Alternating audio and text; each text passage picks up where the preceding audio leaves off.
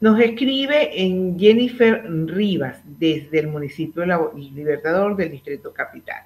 Y la pregunta que hace Jennifer es, ¿puede y debe la administradora convocar a asamblea de copropietarios al renunciar dos miembros de la Junta de Condominio?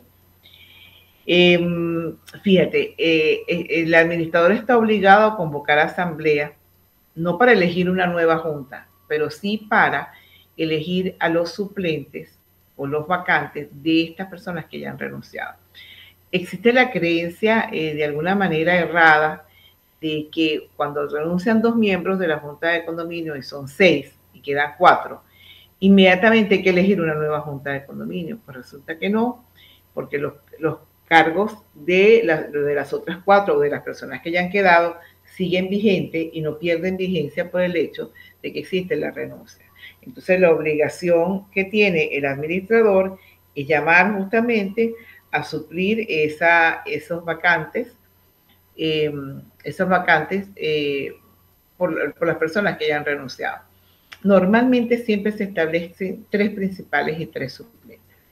¿Cuándo es conveniente llamar a asamblea? Cuando renuncian eh, los principales, este, los suplentes ocupan sus cargos y no tenemos a más nadie porque no hay la posibilidad de tener una junta de condominio completa. Hay personas que dependiendo del momento en que se produzcan estas eh, renuncias, prefieren continuar el resto del periodo sin convocar a los suplentes, porque ya trabajan en equipo, porque ya están acostumbrados, porque de alguna manera incorporar un tercero o otra persona después de cierto tiempo, vamos a decir de 10 meses, sería volver a empezar esta relación de hacer tejido social entre los miembros de la Junta que hace que las cosas funcionen bien.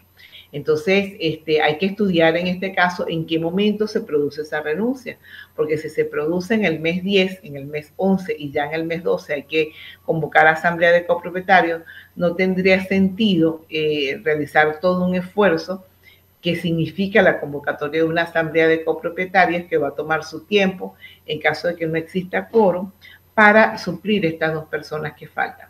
Si el equipo está completo, si el equipo de seis permanece en cuatro, pues vale la pena eh, culminar el periodo de esta forma. Ahora, si ustedes quieren hacer las cosas en estricto derecho eh, y existen los postulados, porque esa es otra también, si existen los postulados y hay personas que quieran eh, ofrecerse a ocupar esos cargos, pues vale la pena, pues, hacer las postulaciones, eh, hacer público de la comunidad de copropietarios la decisión del administrador de convocar asamblea para que puedan cubrirse esas suplentes, esas vacantes, y, este, y culminar el periodo de un año que está establecido en la ley de propiedad horizontal. De esta manera le damos respuesta a... Eh, Jennifer Rivas, que nos escribe desde el municipio de Libertador en el Distrito Capital.